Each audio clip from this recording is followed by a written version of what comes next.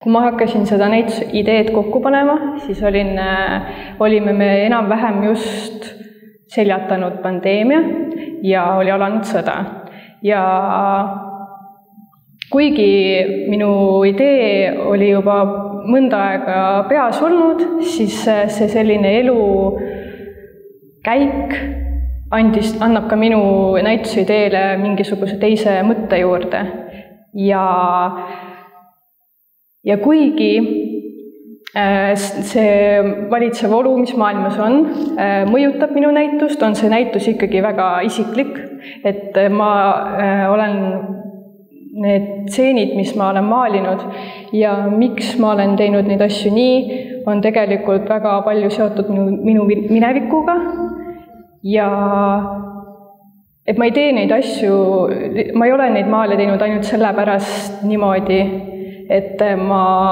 olen kuskilt mingi näinud või et minu maalid on väga vanapärased, et ma justkui oleks võtnud eh, mingit šnitti, vaid see tuleb ikkagi sellest, et et ma olen üles kasvanud väga äh, vanas miljöös äh,, sellise vanapärast, vanapärase kes-, vanapärases keskkonnas ja äh, võib-olla siis äh, see on mind hästi palju mõjutanud ja ma näen oma maalides väga palju oma isa mõjutusi, et tema on selline ajaloohuvilisest äh, ärimees, et äh, ta hästi palju vanu maju on ostnud ja kuidagi üles korda teinud, et ma ise olen üles kasvanud Linnamäe mõisas, kus mul isa siiamaani elab ja ma tunnen, et ma hästi palju olen mõjutatud sellest, mis on nagu talle meeldinud. ja ma tunnen, et ma nagu näen nendes oma sellist minevikku või kuidagi,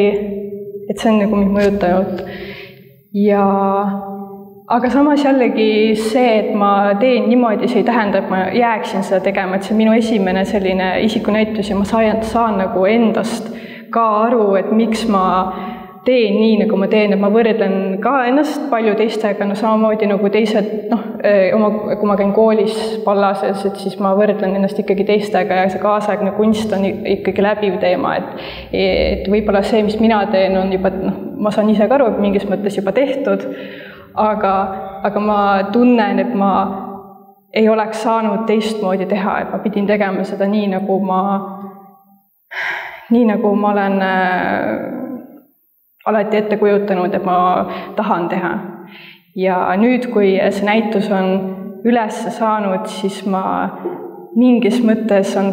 endal kergem nüüd jällegi edasi liikuda, et minu jaoks on mingi etapp jällegi joone alla saanud, et ma tunnen ennast, et jah, et ma tegin nii, et see on hästi, eh, illustreerib minu sellist, eh, seda, kust ma tulen,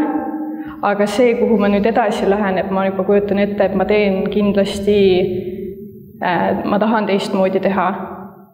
ja ma, ja see ei jää nagu minu mingisuguseks, et kuna ma olen ikkagi noor kunstnik, siis ma ei, mul on see vabadus ikkagi teha kõike nagu, mis ma tahan veel, et mul ei pea, et ma ei tunne ennast, et ma pean mingit ühte rida ajama.